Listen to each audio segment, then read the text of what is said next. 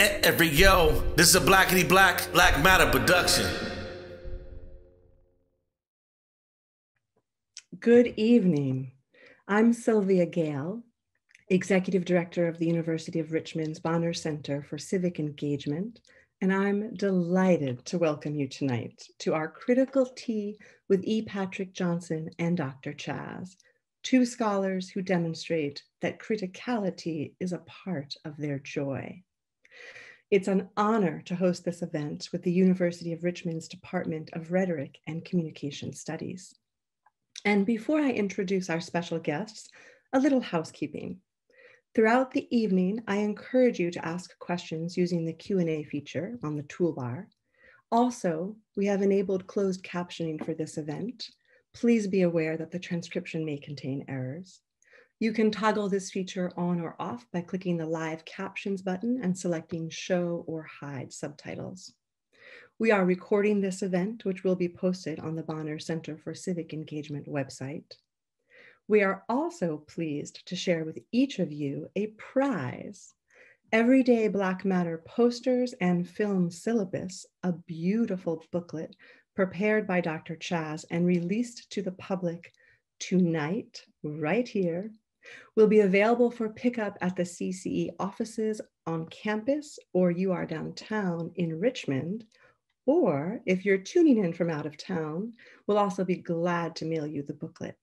Details will be shared with you by email after tonight's program. Now, to introduce our esteemed artist scholars, Dr. Chaz Antoine Barracks, University of Richmond and Bonner Scholar alum, is our first community engaged scholar in residence in the Bonner Center for Civic Engagement. He was also a terrific teacher scholar as a dissertation fellow in our Department of Rhetoric and Communication Studies and gave a spectacular defense of his dissertation. Dr. Barracks's podcast, Black Matter, is an ongoing oral history project that centers Black femmes and creatives of culture, of color, who engage in interdisciplinary work that pushes past common understandings held about Black people and people of color. In 2017, he directed a short film and visual media project, Don't Touch My Hair, RVA, which explores the multiplicity of Black diversity by centering hair narratives and expressions as part of the critical practice of Black joy premiered at the Africana Film Festival. This film uses digital humanities to further anti-racist knowledge rooted in nuanced cultural production and community building. Dr. Barracks's directorial and creative work was recently commissioned for programming at the Valentine History Museum in Richmond, Virginia in September 2020. The museum exhibited both his short film, Everyday Black Matter, photography, and other digital materials related to the project. All shades of the color orange make him smile, and he loves exploring the local ice cream and tea scene in every city. E. Patrick Johnson is the Dean of the School of Communication and Annenberg University professor at Northwestern University and a 2020 inductee into the American Academy of Arts and Sciences. He is the author, editor, or co editor of several award winning books, including his most recent two Black, Queer Southern Women, An Oral History, and Honeypot Black Southern Women Who Love Women. His staged reading, Pouring Tea Black Gay Men of the South Tell Their Tales, is based on his book, Sweet Tea, and has toured to over 100 college campuses from 2006 to the present and his full length stage play, Sweet Tea, the Play, premiered in Chicago and toured to Austin, Texas, Washington, D.C., New York, Los Angeles, Providence, Rhode Island, Durham, North Carolina, and the National Black Theater Festival. He is the star and co executive producer with John L. Jackson Jr. of the documentary Making Sweet Tea, based on the book and play. In 2010, he was inducted into the Chicago LGBT Hall of Fame.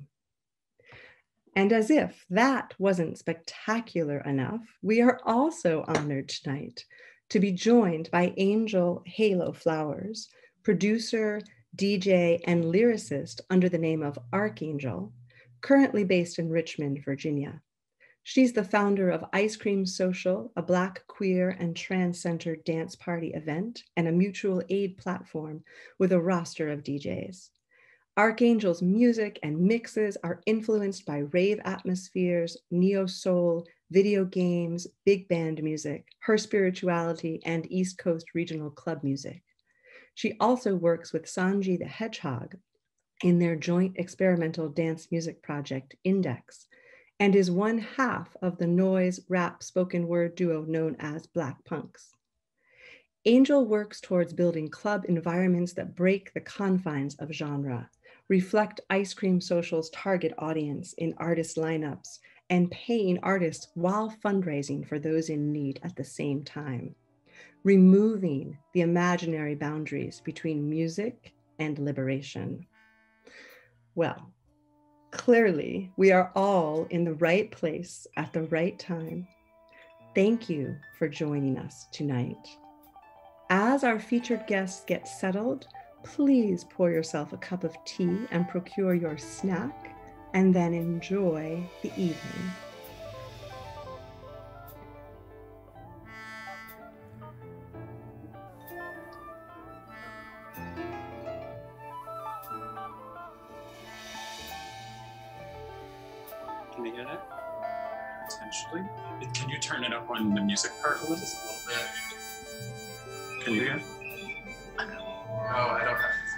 Have. Host has spotlight in your video.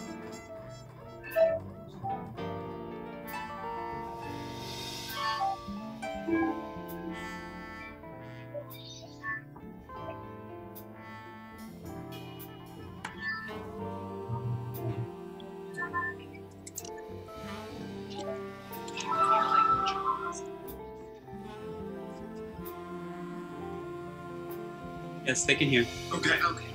Period. should I should I not talk? Um. So when you have music playing, hit mute on that. Mute it. Yeah, and then whenever we have music playing, just mute it and then just unmute when we do it. Just. So I can't hear you. It's, it's okay. No? Yeah. Cool. You're good. Yeah. Here, I'll send you the link. Okay. Just so we can have that. This is so cool. Yeah, this is community. This is so exciting. Yeah. Uh,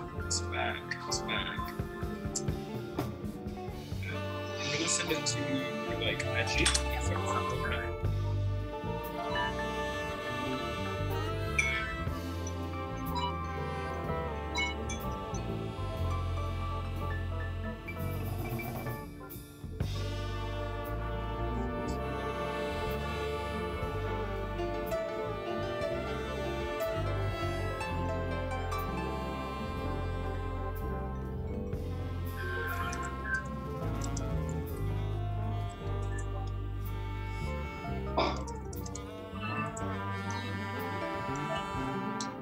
Can y'all hear me? Yes. Okay, good. Just want you to vibe for a little bit. While people are coming in, because we know that some folks are going to be late, so we just want you to vibe. Dr. E. Patrick Johnson, I'm very excited for tonight. I'm I'm equally excited. Yes. Make sure we're getting our sound, everything right.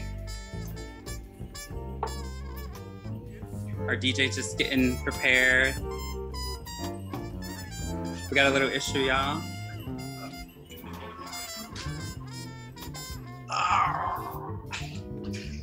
That's, it's literally just that. Yeah. One second.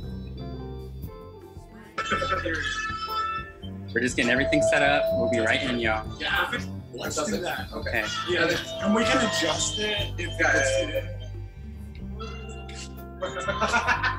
E. Patrick, can you hear me?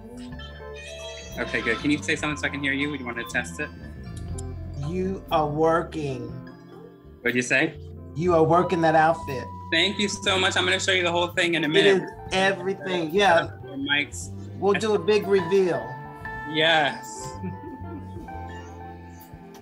I need to hear you, Patrick, through my headphones, y'all. Oh, we won't be in because it should be Yeah, just take that. All right. All right, we're gonna turn this down. Yeah, We're ready to get started, y'all? yeah. All right. Good evening. Good evening. Sylvia Gale, thank you so much for that wonderful um, introduction. Um, I have a little living room set up right now. We are at um, Six Points Innovation Center in the Black Academic Space. Um, and I am uber excited for tonight. I just want to I just want to say to um, everyone that has supported this event, thank you so much. Um, I need to shout out Sasha right now, Sasha Williams, because my my do rag is made um, by her. And if you recognize this piece, it's from the Everyday Black Matter film, which we'll be talking about tonight. Um, E. Patrick, I am so glad that you are here. A little round of applause for you. I am so happy to be here. How are you doing? Did you hear the tunes? We, we tried to come up with some tunes, but we were having some tech stuff, but I think we got it settled. So I wanted to open with some Sun Ra to really set the vibe. How are you doing? You know, I got Yemaya behind me. Yes. you look like you're in a very nice space. Yes. Yes. Sounds good. Yes, it's good to see you. Good to see you. Yep. So I want to thank um, everyone that has sponsored this event. Um, University of Richmond, the Bonner Center for Civic Engagement, where I'm the scholar in residence. Um, Northwestern University, because E. Patrick is there and you are here with us tonight. So today you're in Richmond. 'Cause, you know, if it wasn't for the pandemic, this would have been an in-person event, and I, you know, would have loved to have flown you out. Um, so I'm just, I'm excited, and I want to get right into. Um, this is gonna be a roller coaster. So I'm just gonna say that. I'm ready. I got my tea. Yes, you have your tea. Um, what kind of tea are you drinking? I'm doing loose leaf mate tonight with a little bit of orange spice, and the Jamaican in me had to have some condensed milk, so we've got a little can. The way that my right? The way that my grand, my grandmother always has a jar of condensed milk. Tell us what tea you're doing, and I have a little honey because you know sweet tea. We're going to talk about that tonight. Your book is in the background, of course. Oh, beautiful. So I I'm having a cho- a loose leaf chocolate uh, from Paris, Yes. from the the uh, chocolatier Angelina's. Yes, yes. And you only, I only do, this is gonna sound very Caucasian bougie, but I only do loose leaf tea. Um, I have lived, you know, I watched her film last night and I saw tea bags and I was like, oh, I remember when I used to do that. Yes. but I lived, um, I lived in Japan for two years and just like fell in love with just like the process and the ritual of doing loose leaf tea. So tonight I'm doing loose sleep and I have my little, um, this is my little thermal that I always use. I carry hey, girl, hey. Yes, hey girl.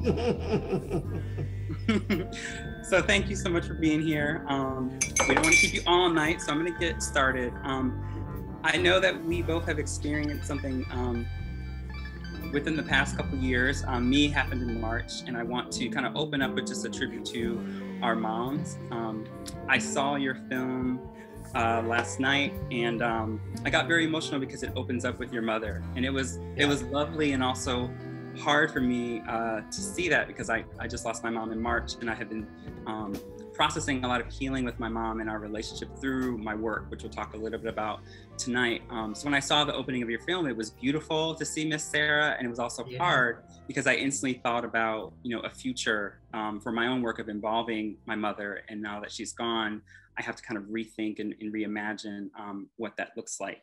Um, so I'm changing changing courses a little bit in my scholarship and in just in my practice and in the ways that I use my work um, as a part of healing. So I wanted to open up just, you know, kind of having a little critical tea about our moms. Um, and I wanted to maybe see if you would be interested in sharing a story about uh, Miss Sarah. I learned a lot about her last night and wanted to, you know, you told us to wear purple um, in her honor. So I wanted to hear just a story about Miss Sarah and then we'll go right into our playlist. Yeah, so Miss, you know, Miss Sarah um, was known for baking, actually, and in fact, I uh, created a um, a fellowship for Black women writers in my mother's honor called the Miss Sarah Fellowship Mm, uh, in uh, North Carolina. Um, so my mother was, as, as you note from the film, she's quite a character. Mhm. Uh, and she was funny, not trying to be funny. mhm. And um, that was the thing that was so endearing uh, about her. And, she, you know, she could uh, throw shade like nobody's business. And I think that's where I, I learned it from. Um, and one of the things I, I love ab- about that is that it was always done in a kind of innocent way, but you know, in that kind of southern way, you've been cutting, you don't know you bleeding.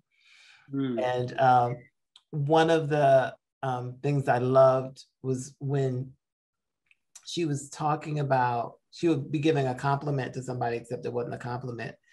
You know, for instance, she, if, if it was um, someone at the church and she spent a lot of time at the church, if it was someone at the church, you know, at, in fellowship hall when they'd be down there cooking after um, church service, and someone who might have been salty to her or whatever, um, she would make sure to compliment them, but compliment them in a way that let them know, don't come for me.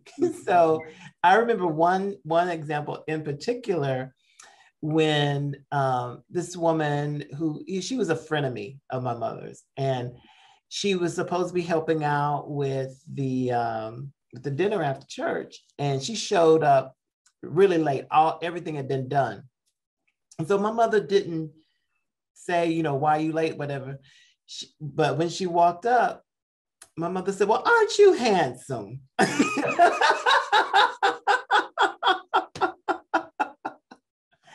Just you know, cut into the bone. Love it. Um, so that that's one of the things I really loved um, about my mother's her her sense of humor, her her shade.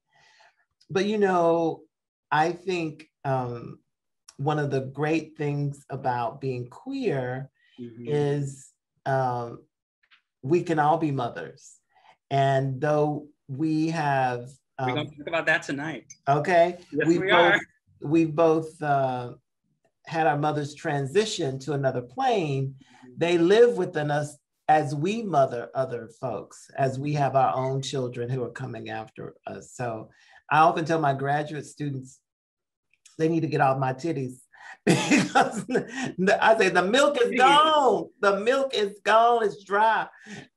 Um, so we we we continue to mother in in different ways, mm. and um, you're you're mothering in ways that you don't even know. And part of that is through your own mother. Mm-hmm.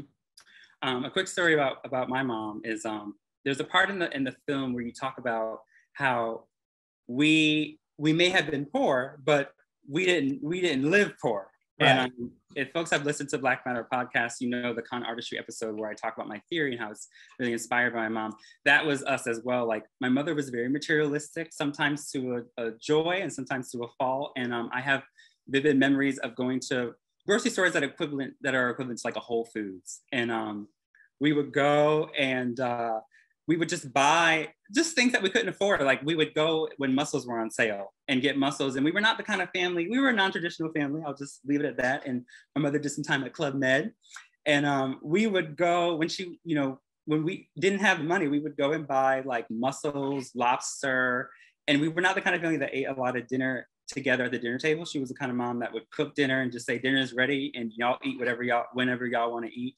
But we would get something fancy and eat um, mussels or lobster or all kinds of seafood, and that would just be like our late night thing. And um, I still do that. I still, you know, I do most of my grocery shopping at Kroger, but I still every once in a while, you know, will go to a fancy kind of food place and buy something that like I can't quote unquote afford and just you know eat that and really think about how you know a, so, a, a huge part of her joy was for us to you know break the rules when it came to like living within your means. And so we always had these like small little material joys um, where it just took us away from it was it was it was escapism you know like it took us mm-hmm. away from that that thought of like oh we can't afford this or we shouldn't be eating mussels tonight. Like we would steam them and put basil on all those kinds of things. And so um, I, I tribute you know I lift my tea to Mama, to Mama Sarah and um, Nana Denise tonight, and that's how I wanted to, you know, do our opening.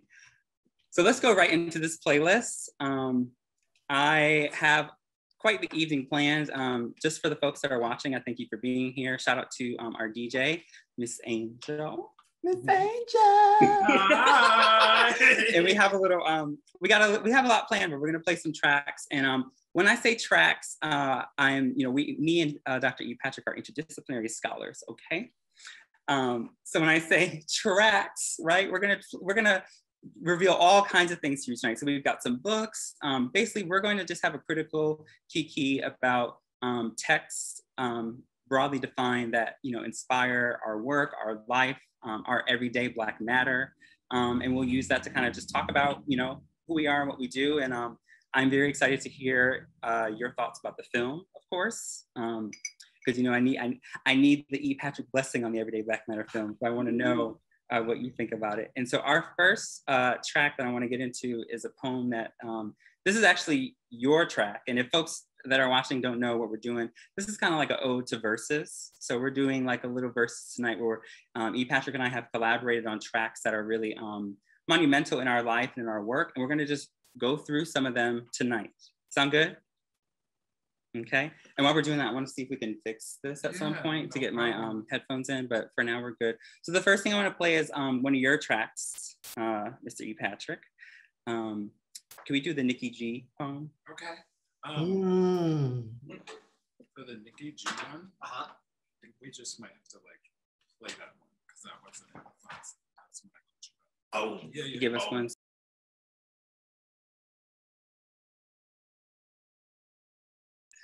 Because this is a, a, Black Matter production, we're going to go to another track while we get the Nikki G poem queued up. Okay. Um, I want to go to, um, hmm, let me see, where, where can we start? Where could we start? Let's actually open up with um, Every Nigga is a Star. Let's do it. This is my track, actually. I love this one so much. Yes. Can y'all hear that? Can you hear that, Patrick?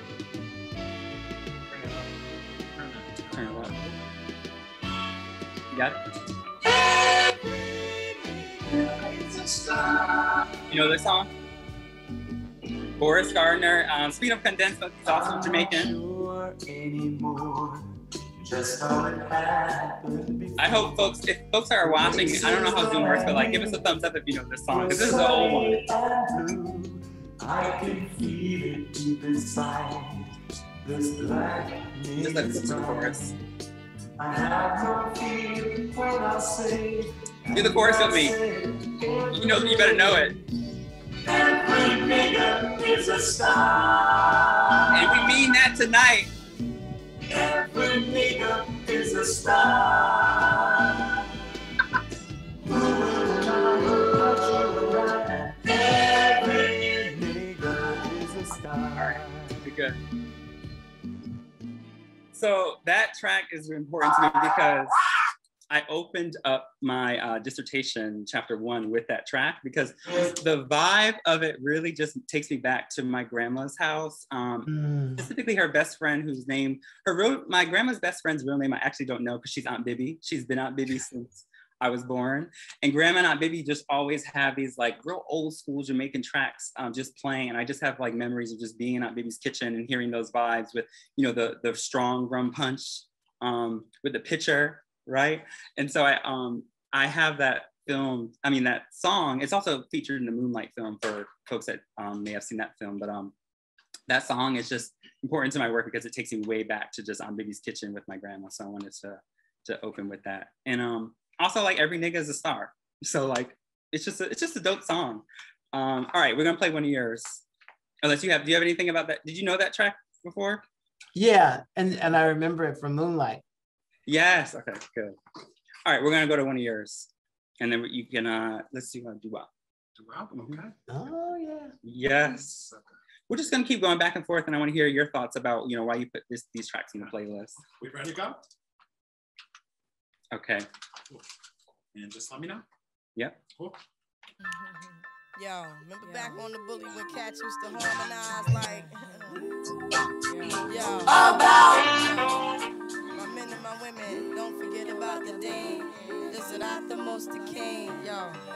it's about a thing. Uh, yo, feel yo, real good, wave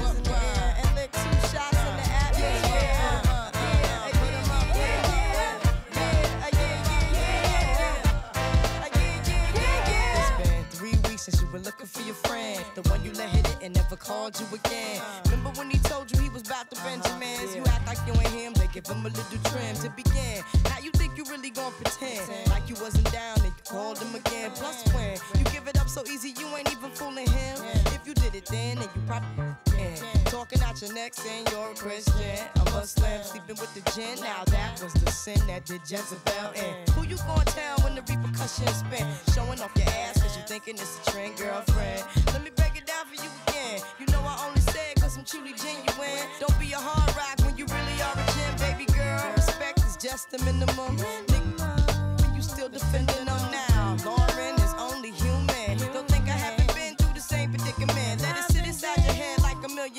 Million Philly pen. It's silly when girls sell their souls because it's sin.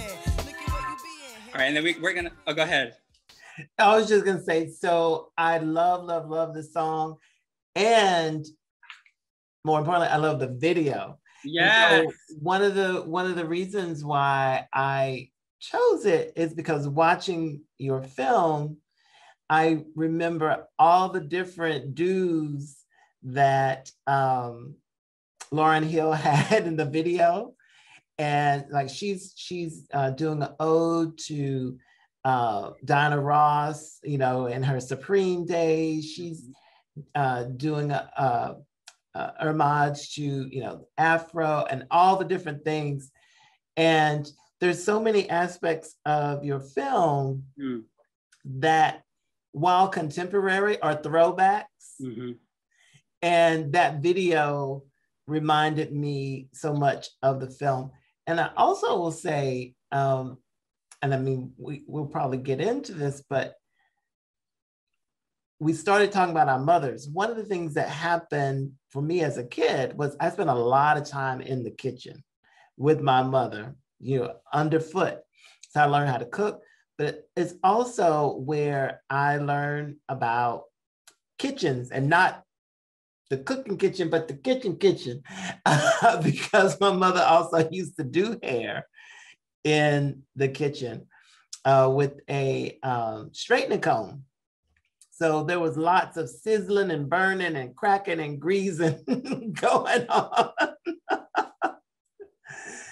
um, and so um, this was uh, a reminder of all the stuff that went that went on in the kitchen, in the kitchen and the kitchen. Mm-hmm. Mm-hmm. That song, um, it's funny. I, it's like even though we only have you know this is an hour program, but like I can't hear a song from the Miseducation of Lauryn Hill and not hear the whole album. So thank you for putting that on the list because you know I'm about to. I'm grieving. I'm going through things. You know I'm going home tonight, and I could play that whole album and just like Mhm. let it out. I feel like it is that album is timeless. We all know that, and I love that it that um, it connects so many different walks of life.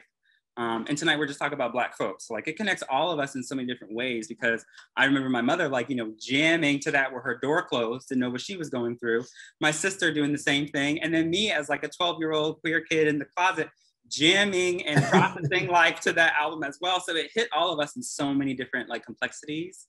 Um, so, you know, just shout out to Lauryn Hill for that. And um, I should have started 15 minutes late to kind of tribute her, you know? now that's shade. you gotta get some shade, you know, in honor of our mother. And um, I heard, I, I see folks in the comments. I, I keep forgetting that the camera is this one, so I keep trying to show y'all stuff through the laptop camera. So I will show you the the do rag and the whole outfit um next time. But we got another try. We're gonna just keep going through because I want to get through as many as we can, and then we got to talk about Sweet Tea as well, the movie and the book, because she has a movie and a book, honey. Okay, I'm trying to catch up to you, Dr. E. Patrick Johnson. You're still my mentor, so we just have Everyday Black Matter. The book is coming out but you know, we, we'll, we'll get there. Uh, we're gonna get through this playlist. So we're gonna play uh, the Nikki Giovanni track, and this is also yours as well. All right. We're gonna do about uh, 30 seconds of it, or we can do the whole thing. Yeah, Okay, yeah, cool. that long. I gotta put it to the mic. Okay. Start it over. Yeah. Gotta be a little louder than that. Mother, all childhood remembrances are always a drag if you're black. Childhood remembrances are always a drag if you're black. You always remember things like living in Woodlawn with no indoor toilet. And if you become famous or something, they never talk about how happy you were to have your mother all to yourself and how good the water felt when you got your bath from one of those big tubs that folk in Chicago barbecue in. And somehow, when you talk about home, it never gets across how much you understood their feelings as the whole family attended meetings about Hollydale. And even though you remember, your biographers never understand your father's pain as he sells his stock and another dream goes. And though you're poor, it isn't poverty that concerns you. And though they fought a lot, it isn't your father's drinking that makes any difference, but only that everybody is together And you and your sister have happy birthdays and very good Christmases. And I really hope no white person ever has cause to write about me because they never understand black love is black wealth. And they'll probably talk about my hard childhood and never understand that all the while I was quite happy. Love, love, love, love. I love Rosa. this. I love this. I'll let you say a little bit about it, but I, I definitely have some tea about this um, poem. So I, I'm really glad that you shared this. Go ahead.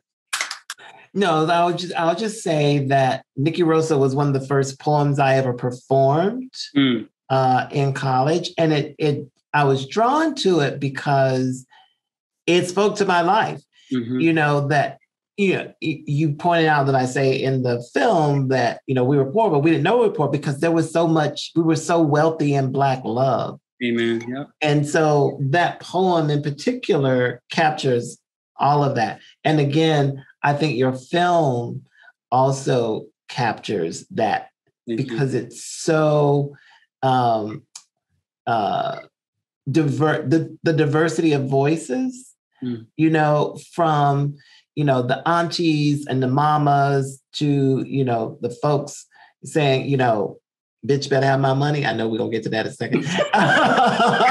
don't, don't give away the playlist. I know, I know, I know. But anyway, the, the point is that in in black communities all around the world, we have everybody there. Mhm. And everybody is a part of the community, no matter what the, the socioeconomic situation is. Everybody's pulling together. Mhm. And it's that kind of wealth of Black love that helps us survive this anti-blackness that we, you know, uh, are facing every day. So that's why I love I love that poem. Yeah, I mean, there's something that I that I say in my work a lot that I really um, was inspired by your work and with the essay in particular around uh, queer theory, queer studies, um, how you kind of like set a space for something else in terms of Black queer knowledge, and I think it also challenges uh, Black studies as well to kind of, you know, really remember that we have always been here, right? And also that um, Black queer folks, Black queer men especially, are very, um, our identity is so much inspired by our mothers, by our aunties, which I think both of us, you know, really try to center in our work. And um, I just think that poem is beautiful because it really makes space for like the something more, you know, centering everyday Black life um, in ways that we're not often remembered and seen for. Um, and just the importance of raw story, the story, the Black story, the story of everyday Black life, like as the theory, um, which you you know have inspired me about to really like tell those stories and that be enough. Like the story of our lives is a part of our theory making. Um, it connects to another track that is not a audio track, but just Tina Turner is on this playlist because Yes. Look, I Tina is behind me, but also Angela Bassett is my favorite actress, and I grew up watching. Um, again, I had a non-traditional mother. I grew up watching Waiting to Exhale, like from I don't even know, like from mid- from middle school. Like definitely should not have been watching that film, but my sister and I can quote the whole film because um, that film is on the is on the track list because it just really holds space for just like that raw story. And I think both Tina Turner's work and Angela Bassett um, really, you know, center that kind of nuance and that complexity and like the doing more than just like the trauma narrative. Even though the film is, you know, heavily rooted in trauma,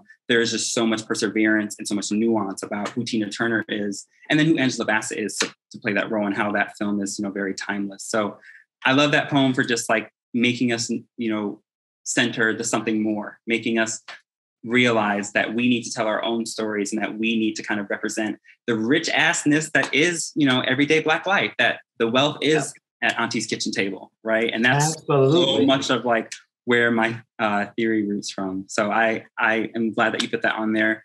Um, yes, we're gonna do one more track and then we're gonna take a little break because we want to get our sound stuff straight. Um, but yes, I'm so glad that that one was on there. And Nikki Giovanni is just, you know, I'm a huge fan.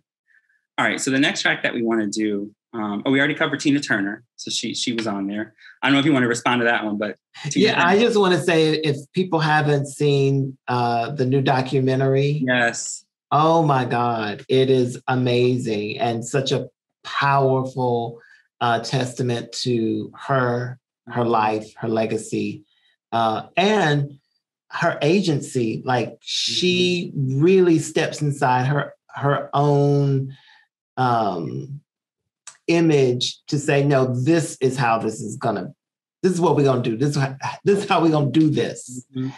And I just love that about her, you know, and the fact that she's now 80 and you know, still gorgeous. Yep.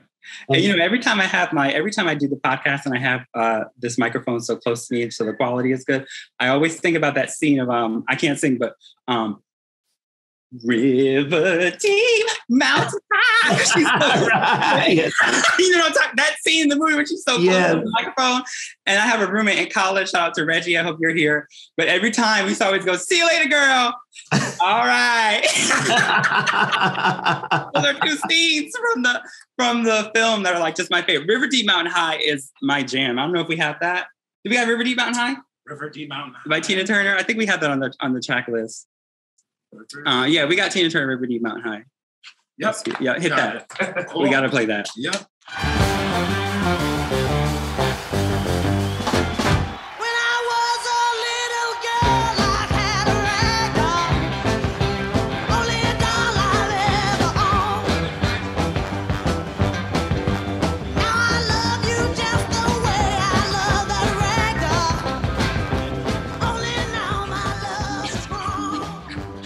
Yes, and then um, I love someone someone else putting the quote, uh, "Get your shit, get your shit, and get out." But we're gonna get to that because we, we're gonna go to Angela Bassett next because Angela Bassett is definitely on this track list. Her just plethora of work and the way that she can embody these characters really inspires a lot of my work as well.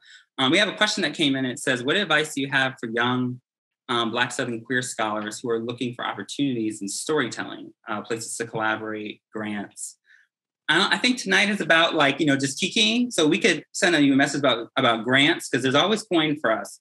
Um, but I, I do I think we should um, talk about this question in terms of just the advice that you have um, for Southern queer scholars who are looking for opportunities in storytelling. well, the the the first opportunity starts with yourself. Mhm. You know, I often tell people, you know, everybody got a story to tell, but not everybody gets to tell it. Mm, And it's so important that we um, bear witness to people's stories. It's so important that we uh, engage people about their stories. And that starts with yourself. You know, one of the things that was so um, rel- rel- relevatory for me in um, making sweet tea was the the profundity of what I asked of these men, and that is ask them to share with me the the the most intimate details of their lives. But when I had to turn that microphone toward myself Mm, and spill my tea, that was a whole other kettle of fish. And I think sometimes we we miss some opportunities um, when we when we don't share our own stories. So I, that's the first thing. Start with yourself. Also, there are all kinds of um, organizations now in the South.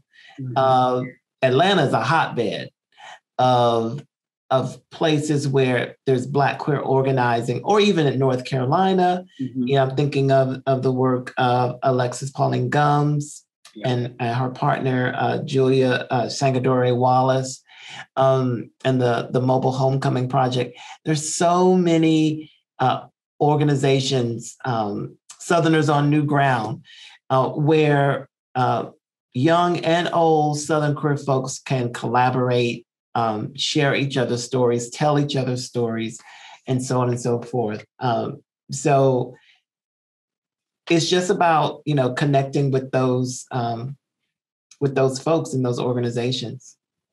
Yeah, I, I the only thing I would add is um, just especially for Black queer folks, like just rem- remembering that when you're in these academic spaces, that like there's always this kind of push to stick to a certain discipline. But I think Black life is interdisciplinary, right? And like we always, you know, have rich, nuanced, complicated stories, as as E. Patrick's work with the queer with queer theory really proves. Like, I just think it's always good to just think about your work through various disciplines. So, like for me, I created the Black Matter podcast because I was in academia and just feeling like my voice was being repressed, and also the folks that I that I saw as scholars, my aunt, my grandmother, my mother, um, and the way that my mother inspires like my theory of thinking about something else when it comes to Black life and thinking about Black joy as a practice right now.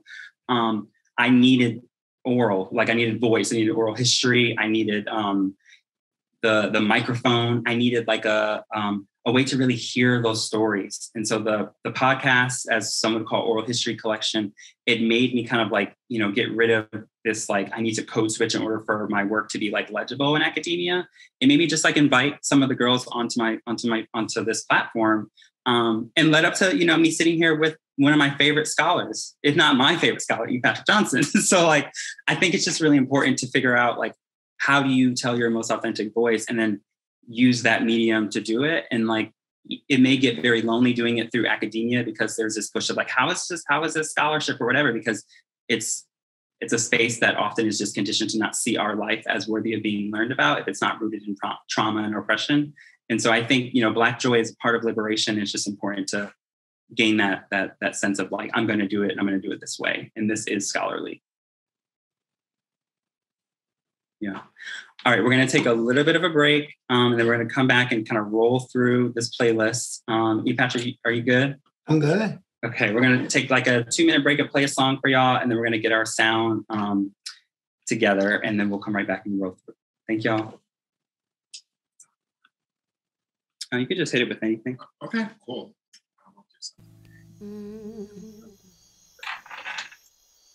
So need some more tea. I'm an orange moon.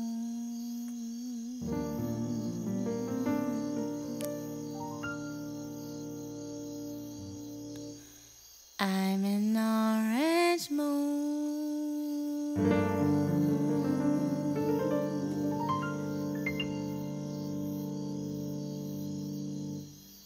Reflecting the light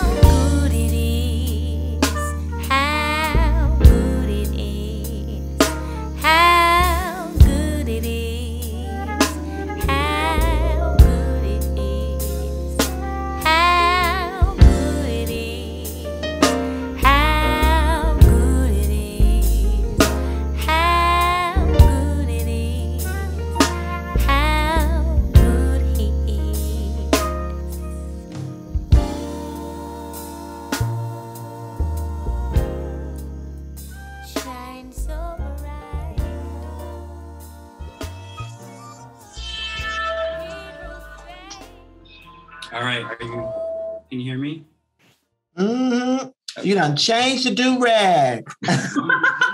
yes. So shout out to uh, different artists. Uh, Nancy, who is a VCU professor at, at, sorry, yeah, in Richmond at VCU. So yes, I'm trying to give y'all the new. Can you see the whole do rag? Yes. Uh, don't touch my hair, RVA. Right. Uh, that's the that's the ode to our um, first film project. Uh, shout out to everyone that worked on that project with me. And then also, um, I'm heavily influenced by Solange's work. Cannot do anything without mentioning um, Solange. She's on the playlist, uh, which we'll be sharing after this event. Um, but before we go into the tracks, I wanted to just make sure that we got, because I, I appreciate you shouting out my film a lot, but we have to talk a little bit about your film, right? So, um, Sweet Tea, the book, is uh, right here. You know, I'm, prom- I'm promoting you in the Black Academic Library. Okay? I do want to say one thing about the book that, I, but I really want to go to the film. Um, is it intentional? This is going to be a weird question, but is it intentional that the book is so big and kind of like dense in terms of how many stories you included? Because when I have seen this book at um, many a Black gay men's house, I always feel like it's like, oh, it's a good replacement for the Bible. right? because it's just it's a dense book. It's it's always on someone's coffee table or side table. And so I wanted to know, like, did you think about that in terms of like it has to be printed with this kind of heftiness to it? Um, not just because our stories are so rich and nuanced and like you had to include so many, but I just think the book as a physical thing is very much, it also plays into that you will see us, you will read, yeah, or we will read you. So believe it or not, that's an abbreviated version. oh my God. so the first version of that book was a thousand pages, and my editor was like, "Oh no, we are not publishing that." Um, but you know, I I interviewed um, 77 men for that. And the stories were just so rich and powerful. And they had lots, lots of tea to pour. Mm-hmm. Um, so it wasn't intentional. Um, it's just, you know, what it is. And again, that's that's the shortened version. Yeah, I love it. Have you um does it make you feel like warm and fuzzy when you go to folks' house and see the book there? I do. And there have been some really funny stories uh, that I have uh, discovered when, you know, going to people's homes. They don't know who I am. Mm. So I've been a, a, guest of somebody visiting somebody else, and I see the book uh, mm-hmm. on their shelf. And then they they sort of do a double take, like, oh my God, you brought that book. so it's really funny. And then for the film, um, I do want you to tell us a little bit about Sweet Tea, the film. I watched it last night, and I think it's it's beautiful. I love that um, you really show just like the wealth of all our stories, but also it just centers nuance in so many ways. Um, I need to look at this camera. One of the things that the film reveals is that everyone knows a sweet tea man, right? Because we are human. We are here. We've always been here. And I love that you showed kind of, you know, I'm going to, you know, shout out my own work. I love that you showed uh, like their black matter, right? Like them doing hair, them in the kitchen trying to get a jar open. Like I loved um, uh, Leroy, uh, who talked about when he fell in love, uh, or no, Freddie, when he fell in Freddie, love. About, yeah. Um, Leroy robbed me of, of my of, who robbed me of my favors. Like I had to about that man, but I loved it. Like I just think that like it just it's such a book that just centers like the importance of learning from everyday black queer life um, the book and the film. So i wanted to just give you some space to like you know just tell us a little bit about the film and just like that process of you making the tea fellows man. Yeah so the, the yeah the the film uh, was not my idea. It was john jackson jr a really good friend and colleague at, at penn um, and the original idea was to make a film about the making of the play. Yeah. And then when we started filming, you know, it became about so much more. And I didn't know that, you know, I didn't want my story to be in it, but then that became a whole part of my my own journey back home.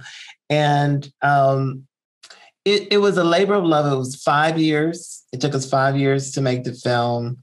And um, we we we have signed a distribution uh, deal uh, with Random Media, so hopefully you'll be seeing it, you know, on Amazon or Netflix or Hulu, one of those. Uh, yes, yeah. Congrats. Thank you. And that's that's big, and that's very important that it's going to be, you know, out there. Yes. Um, and you know, the other thing is um, the film memorializes the men in a way that even the book doesn't because uh, I'm um, sorry, uh, Harold and Harold, my mother, Countess Vivian, mm-hmm. they're no longer with us. No.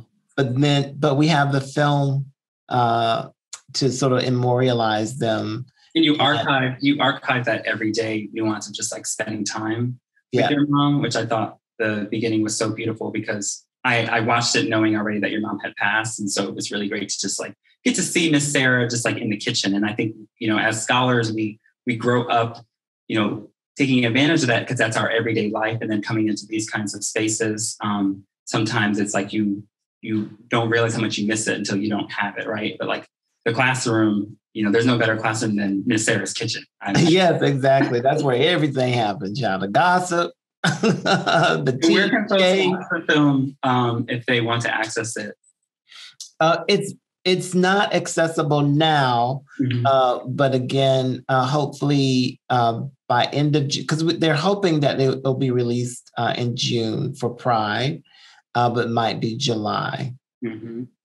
Nice. So we're going to go right through this playlist because we don't want to keep you all night. So we got one more that this is actually your track, but it fits very well with the Everyday Black Matter film. Let's hit on, uh, you got that? Mm-hmm. There we go. Oh. I'm gonna do a little T.S. Madison dance for y'all. Shout out to T.S. Madison. She's on mainstream TV now too. You know the T.S. Madison, the titty dance?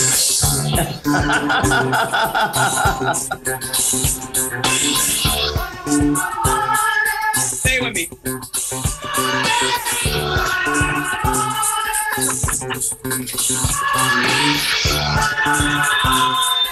And speaking of For the Love of Money, I mean, this was on your playlist, but it's obviously on the Everyday Black Matter playlist. And, you know, we got our Cash Apps behind us, right?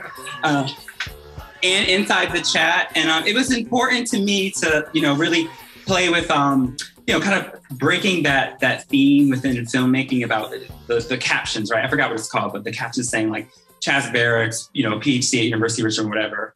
Um, we wanted to just put cash apps, right? We wanted to kind of like give folks a way to just like contribute to the black artistry that is making the film possible like right now right and so the cash apps um, and the venmos were just like a very intentional part of this project because not everyone in the film um, got paid but everyone in the film was like girl i will be in it like i will do it so i wanted to really use this academic positionality to say like if you're watching the film, especially for folks who are non-black, like if you're tuned in with us tonight, like send E. Patrick and I a coin, right? Miss Sarah Foundation. I think um, you're going to talk a little bit about that, but like there's always ways to contribute to Black artists, and so I'm glad that that song was, you know, on your on your playlist um, because it definitely uh, should be on the Everyday Black Matter playlist, and so we've added it. Yes, and you know what made me think of that is you know the end of of your film. uh, anything for them unless they overpay you. Yes, yes, yes. And you know I have a godmother in Massachusetts, uh, Onawumi Jean Moss, um, who I just love. I just I talked to her on, on Sunday on Mother's Day, and she's eighty four uh, and still, you know, just fierce. And one of the funniest things she's ever said to me in relationship to, I met her at Amherst College, and I was talking about how, you know, they were asking me to do all this stuff. And she said, baby, leave the money on the dresser. This don't come for free.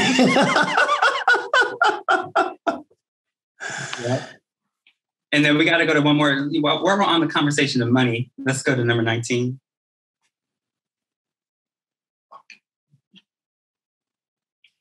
We got it. We got one coming up for you. Yeah, yeah. Yeah, yeah. This is also your track too. Yeah, yeah. Oh yeah. what you trying to tell us, E. Patrick? should know me well enough. Better have my money. We are talking to the university, right? Okay. Yep, honorariums have been cleared. Have they been cleared?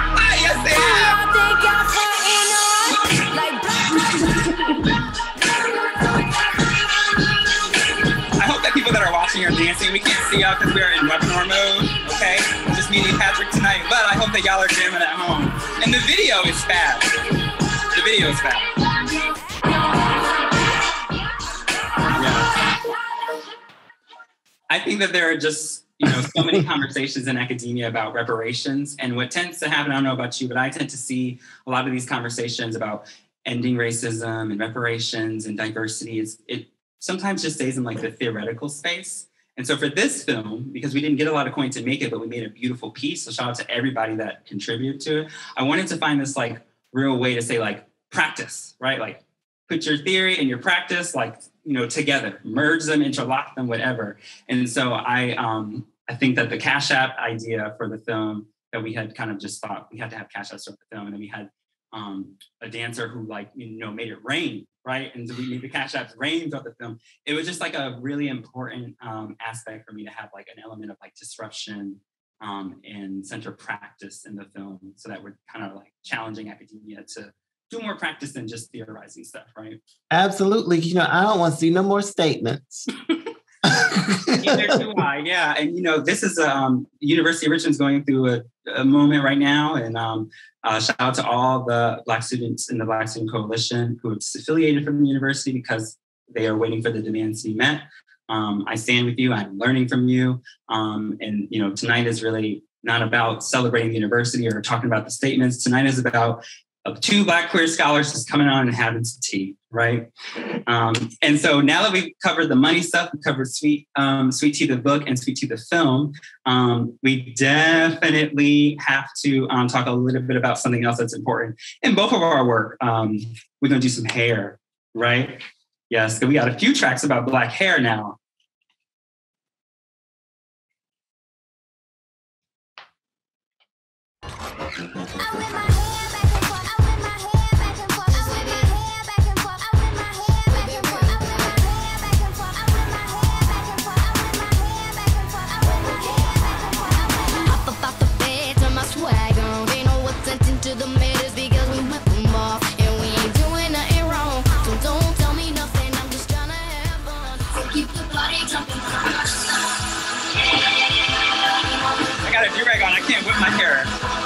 Doing it in spirit though.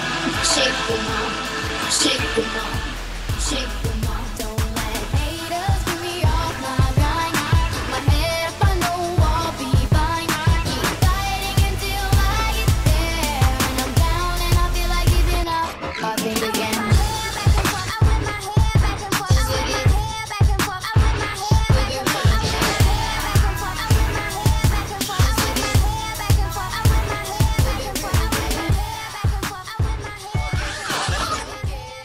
you know, black hair is just something that I love uh, to explore in my work. Oh, I just got a cash app. Thank you, whoever that was. Always makes me feel nice when I get a little recognition through cash, right? I and a job and all those kinds of things, but the cash app feels nice. Um, hair is just another way for me to really like use the camera and the podcast to just like center nuance, complex stories. And I also think that there's just so much black joy rooted in our hair stories and and pain and pain, real pain. but you know, hair is a is it's just my favorite art form to explore in the film because it's also just like so tied to my own queer identity. I um I talk a little bit about um kind of in the book that, that's coming out about Everyday Black Matter, I talk a lot about like just the process of like, you know, identifying as a gay man. So then like still keeping a lineup, right? Still keeping a shape up.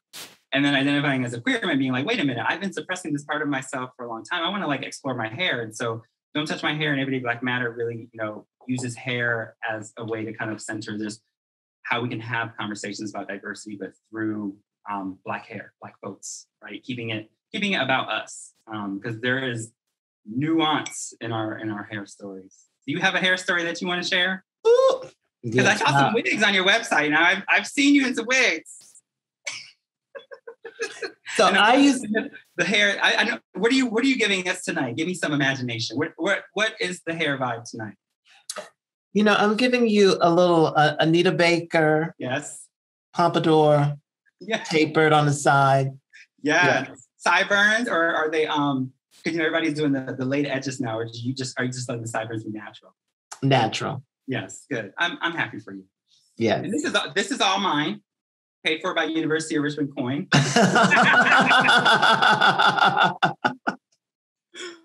God! All right, let's, let, let's keep going.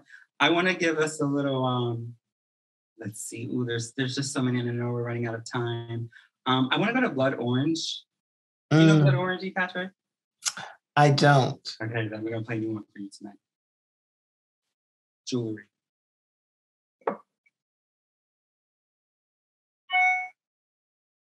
And you can just like you just skip. We're just like 20 seconds of it.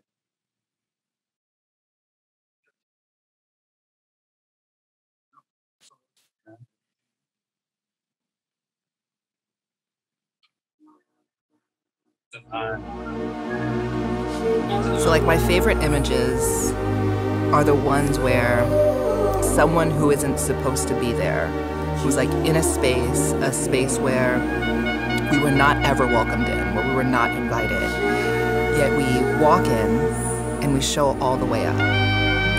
People try to put us down by saying, she's doing the most, or he's way too much. But, like, why would we want to do the least?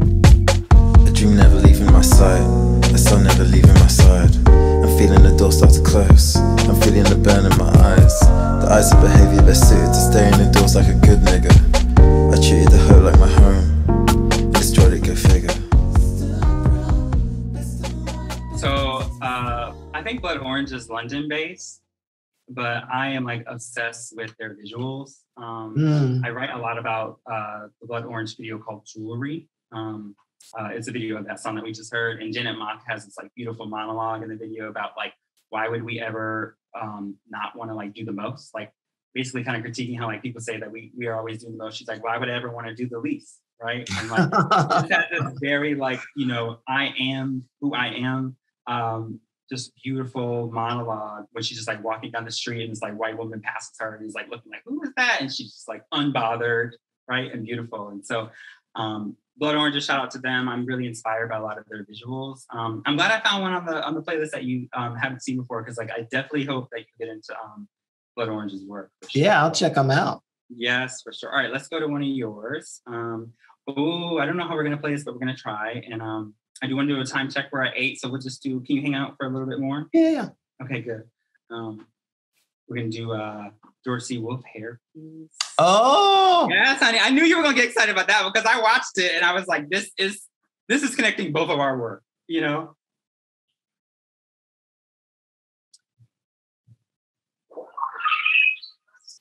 You can go to uh, 328.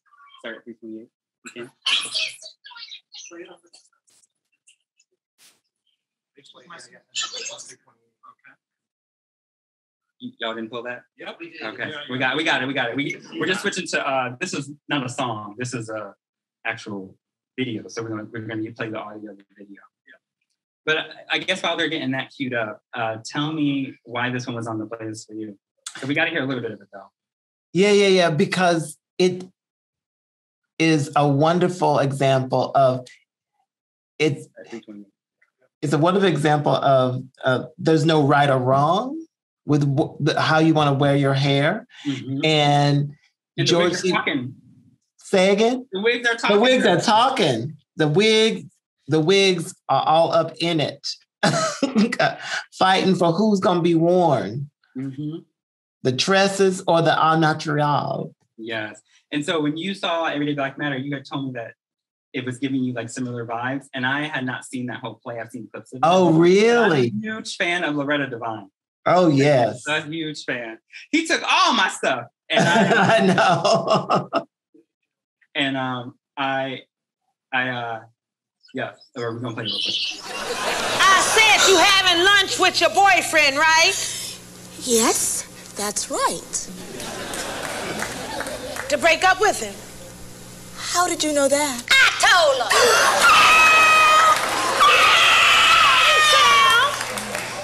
I said, sit your ass down. Now, will you set her straight and let her know that you're wearing me? She's the one that needs to be set straight. Tell her you're wearing me. No, honey, tell her you're wearing me. Well, Well, well, well. Actually, I haven't made up my mind. what you mean you ain't made up your mind? put you through, you're gonna need all the attitude you can get. And there ain't nothing like attitude and a healthy head of kinks to make his stuff shrivel like it should. Cause honey, when you wearing me, you letting him know. He ain't getting no sweet talking comb through your love without some serious resistance. You hear me, sister? The kink of my head is like the kink of your heart. And neither is about to be hot pressed into surrender. Oh, Janine, that talk is so tired. The last time attitude worked on anybody was back in uh, 1968. You know you need to get over it and get on with it. And you need to give that nigga a goodbye he'll never forget. Give him rage, give him hysteria, give him emotion. And there is nothing like a toss of the tresses to make your emotional outburst shine with emotional flair. Honey, you can toss me back. Shake me from side to side, all the while screaming, I want you out of my life that is a critical piece. Um, for this critical team, we had to have uh, hairpiece from the hairpiece from the Colored Museum. Uh, the Yes. whole play is fab, but in particular, I would say if you got if you go watch it, go to 328 and start at like the wig monologue where the two wigs are talking to each other. That just gave me life because you know there are. Um, I used to put on when my mother was at work. I used to go in the basement and watch like Destiny's Child, Beyonce, Escape concerts, and put a T-shirt on my head and have a whole like straight press you know, weave and just be swinging that back and forth. And so it made me think about just like how, you know, when you put the hair on, the hair comes, the hair makes you come alive in a way. And her two wigs were talking to her. And I love the part when the afro was, the afro wig was like, if you're going to break up with him, you got to wear me because nothing says that I am not here for the foolishness without, besides that afro wig, right? Thought that was Exactly. like a great part. I love it. I love it. All right, let's do a song. All right, this, I want to do, I'm going to do, I'm gonna do one of mine. Um, we got to do, um, let's do Gladys Knight. Gonna Ooh, take- yes. I don't, I don't know if you know which one I'm gonna play, but we're gonna have a let's have a little sweet moment. It's uh Gladys Knight. Neither one of us want to say goodbye. So I, I sang this song in a talent show when I was like 10. Yeah.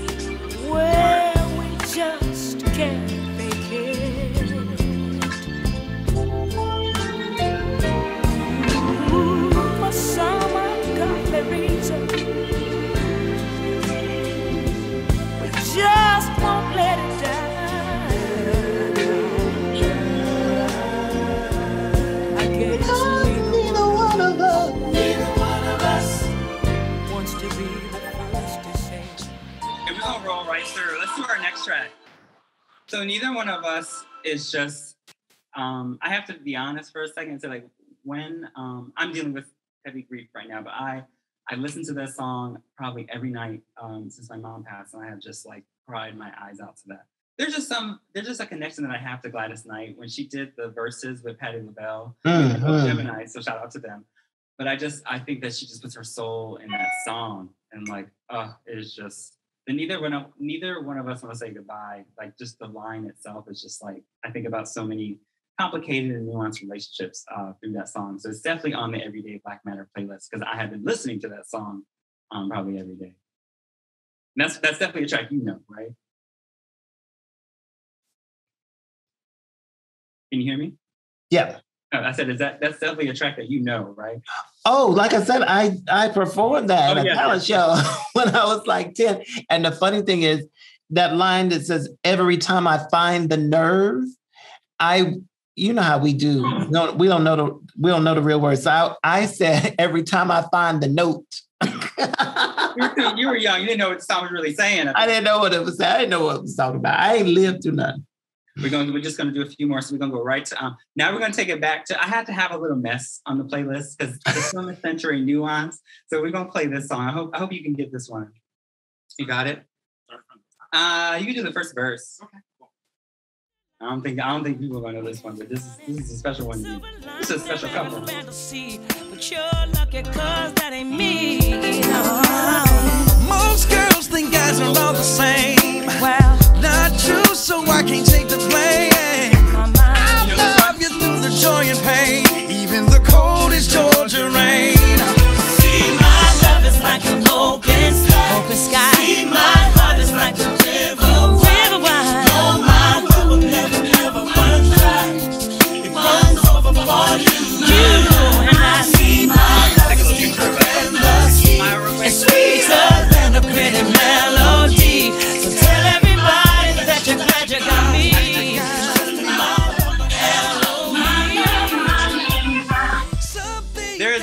Is than a Whitney and Bobby track. I know, I right? had to have Whitney and Bobby on my because all I mean, I I watched their reality show. I think that reality show did not does not get the credit that it is due. Um, but you know, there's you can't talk about black joy, black love, black life, everyday black life. Um, you can't talk about sweet tea without really, you know, embracing the mess, the nuance, the, the complexity of it all, right? And I think um, the reason why that song, the Whitney Bobby track, is on my playlist is because you know it's just it's a it's an archive of the mess, and um, you know, rest in peace. Yeah, and that that was that was mess. I'm a huge Whitney fan. I love all the albums, even the ones that didn't do well. I love them all. And um, Whitney is just a big part of my queer identity because of the ways that I felt connected to her. I think in ways that people just didn't know about her. You know, like I I see Whitney's work as just like there's there's just so much queer, black queer, you know, archive in her work. So I'm a huge Whitney fan. Had to have had to have a Whitney and Bobby track on there. All right, we're gonna go to one of yours.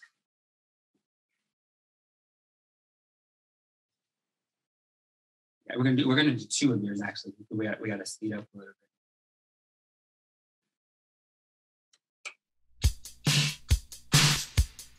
Yours. I don't even I mean haven't heard this in a while, but I think people I think people know it. The Gemini.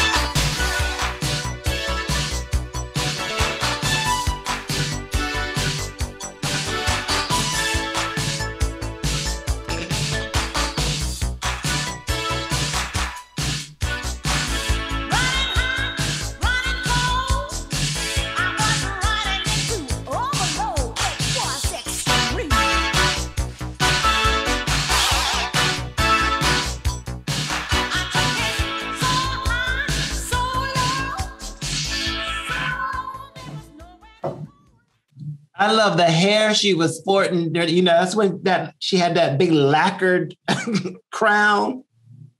Yes, I know that. I mean, I'm a huge Patti LaBelle fan. That song is not. Uh, I mean, I have. So you are my friend is probably my Oh yes. just because the soul in it. But I do, I do love that song. I do for real. Um, before we wrap up, I want to make sure that uh, folks know that like some of the critical tea tonight. So everyone that's um, that has attended tonight, you are getting um, access to a free copy of the Everyday Black Matter uh, public syllabus, um, and also uh, film posters. Um, I think someone is going to put in the chat how you can access those. Um, I want to make sure that we we um, before we wrap because we are over time. E. Patrick, could we take like one or two questions? Yeah, sure. And the the Everyday Black Matter playlist has um, all of our tracks that we're going over tonight. We also have a Spotify playlist that we'll make public for folks. Um, but of course, we you know I'll I'll um I'll make all of that you know shareable. There is one song that you put on here that I think is a good one to wrap with that connects to both of us, and that's um the Erykah Badu track. So I mean, Before you do that, can I just do my little Sula? Sure. Right Oh yes, I forgot. So we can't. Yeah, I'm glad. I, I'm trying to save time for you, but if you want to, you know, we keep. No, going. so you know, Sula is like my all-time favorite uh Yeah. Toni Morrison uh novel more than any of them. And I just love the moments in in the the novel where um Sula is throwing shade or reading uh, people. So this is very quick. No, go ahead. Take it. And this is when Sula Sula is dying, and and uh, Nell has come to uh, visit her on her dying bed, and Sula says, "I sure did live in this world." And uh, Nell says, "Really? What you got to show for it?" Sula says, "Show to who? I got my mind. And what and what goes on in it? Which is say, I got me." Nell says, "Lonely, ain't it?" Sula says, Yeah, but my lonely is mine. Now, your lonely is somebody else's, made by somebody else and handed to you. Ain't that something? A secondhand lonely. I love it. Yes, honey. So many of our tracks really puts queer theory, your work, like into practice because they are so close to home in so many different ways. Um, and I think we both really uh, theorize this like concept of black homemaking, and I I feel connected to your work, and it really changed my course in graduate school because of how much I think that you kind of play with the concept of like home. Um, so Mm. there's a great text for that, but Colored Museum, um, When I Get Home film, uh, BAPS was another one that's on my playlist. Just the way that that is just a hot mess film that really put some black joy, you know, into the mainstream, and just how you can keep going back to it. And then we can't, um, I cannot forget to mention Waiting to Exhale. I Mhm. watch that film whenever I'm in like just a low place. The the Angela Bassett Black Rage scene, the 732, for folks who know, you know, that is just, you know, one of my favorite all-time pieces. Um, I want to let you, uh, before we close out, wrap up with any um, things that we didn't get to mention, but films that are definitely on uh, on your list as well. Well, you know, we just celebrated, I think it was two years ago, the 30th anniversary of Tongues Untied. You know, it's and I it's it's on the syllabus too. And that that film was transformative to so many of us who were coming of age during that time. And uh just an amazing film and such an important um piece of filmmaking. Looking for Langston, Yes. Isaac Julien, you know, just another incredible film. Um, there's there's you know a whole body of work out there by uh, Black queer artists who are no longer with us, but their work lives on through uh, their work. So, but those two in particular, Tongues Untied and Looking for Langston, I want to give a shout out to. Yes. E. Patrick, thank you so much for this. This was Oh, it was wonderful. yes. Um, I I thank everyone that has supported this event, that supports our work. Um, and we're gonna do one more for you because this track, I'm glad that I I kind of forgot about it, but I'm glad that I circled back to it because it's one that's on both of our, you know, our our Black Matter playlists. And again, it's a longer one and it's one that I I love. Um, and I can listen to it every day. And I think we're all Erykah Badu fans because she just, you know, give her her flowers, period. Um, but we all connect to Erykah, similar to Lauryn Hill. I feel like we all connect to Erykah Badu's music in just like different ways, and it Yep. really centers our nuanced um, Black stories. Let's let's do the Erykah Badu track if we can, and then we'll come back and we'll wrap up. Uh, folks that needed to go at eight, I don't know what you're doing on Thursday night at eight o'clock. They need to go. You feel free to sign off. I'm trying to keep me Patrick on as long as I can because I love this moment with you. I hope we do this again. But let's let's do that track. This will be our final one. Yes. I'm so glad we got it. Let's give you a little segment of it.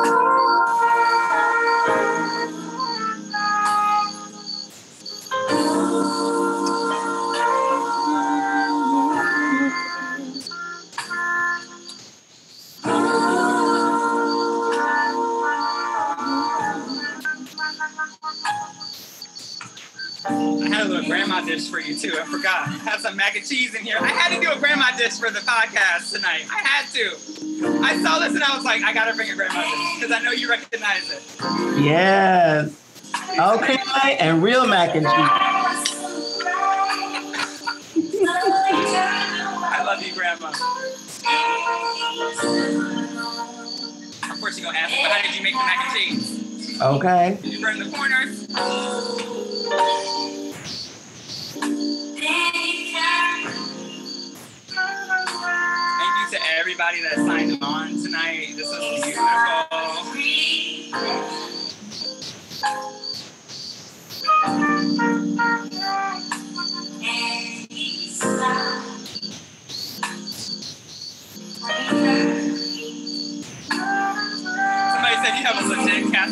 Every black person that has that drop something in the chat. Give me a little thumbs up.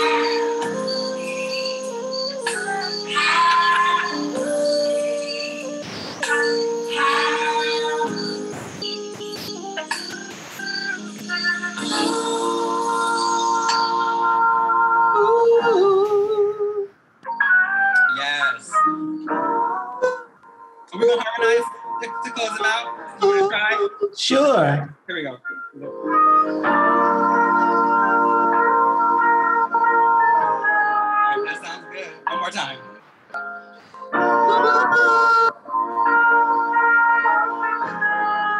Thank you so much. Big shout out to DJ Angel. Yes. Send them a cash app, honey. Yes. Cash app. Um, it is dollar sign. Dollar sign swag swag. I am uh, dollar sign Chazzy B.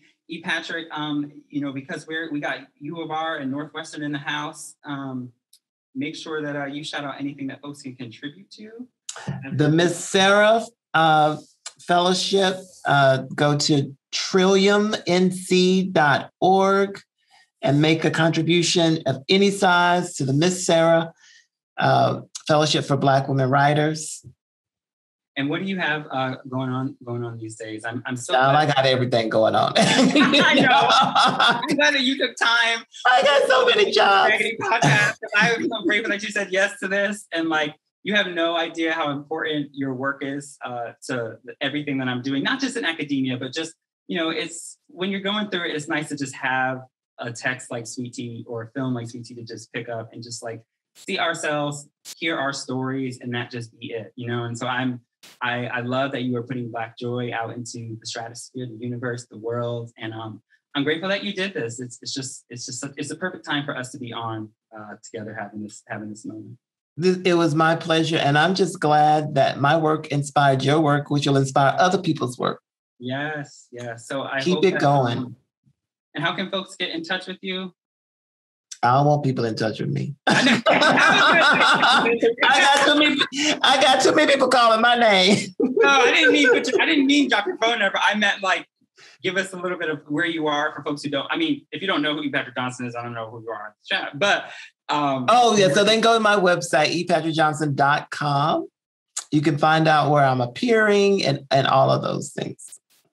Yes, and I'll be at the University of Richmond um, in the Bonner Center, Bonner Center for Civic Engagement uh, until June. Um, Black Matter uh, podcast, wherever you get your podcast, that's where you can check out some of my work. Um, Everyday Black Matter film, I think we'll drop a link of how you can access that if you haven't, um, or if you weren't able to show up today for the screening.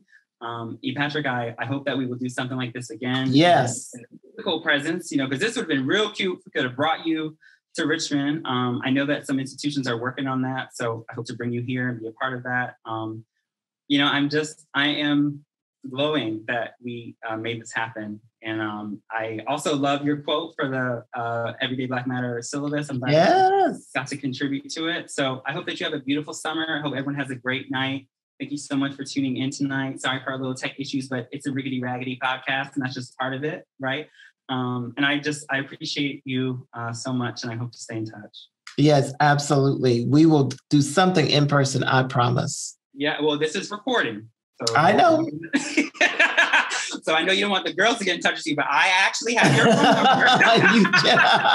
number. you, do indeed. You do indeed. you know, I love I love a Chicago tea, so I um, would love to come explore the local tea um, and spill some tea with you in Chicago. Um, and we share this playlist, you know, we'll keep we'll keep kicking about it because I would love to get you know more tracks from you and just keep talking about our work. And I see someone just dropped um, the uh, writing fellowship uh, that Yes. folks can donate to the Sarah Fellowship in the chat. So there's lots of tea in the chat for folks to get involved in. Don't forget that you, um, if you came tonight, you get a poster and uh, a, um, we'll send the PDF of the Black Matter reading list. And I think I think that's it. Um, shout out to Six Pick, Six Points Innovation Center, the Black Academic Space. That's where we are tonight um, all of our sponsors that, that helped put this event together. Um, thank you so much. And um, everybody that has been supporting me through this time in my life, I love you. I thank you. Um, and that's that's it. I, I um I don't want to go home, but I know the DJ the DJ's gonna keep playing a little bit for us. Um, we just we um, will let you you know vibe a little bit. Um, e. Patrick, thank you again. Thank you. Take care. You too. Bye. Lots of love. Every yo, this is a Blackity Black Black Matter production.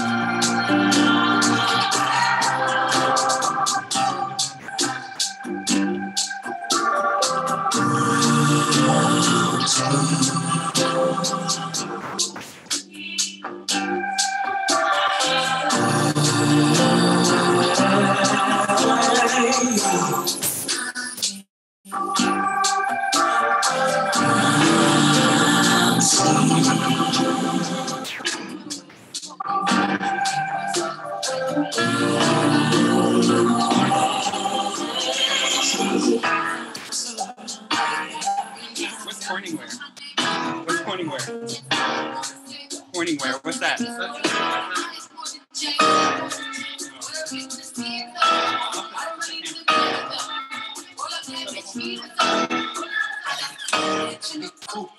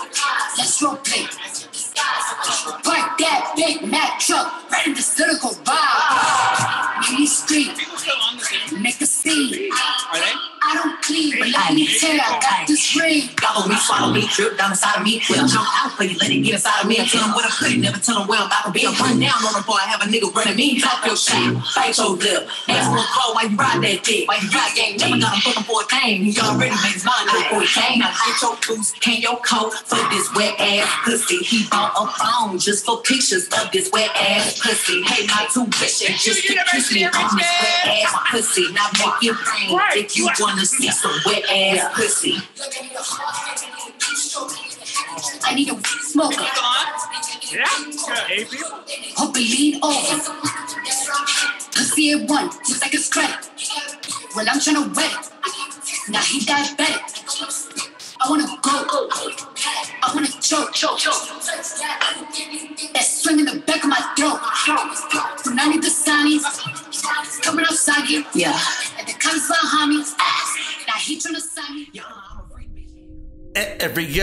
This is a blackity black, black matter production.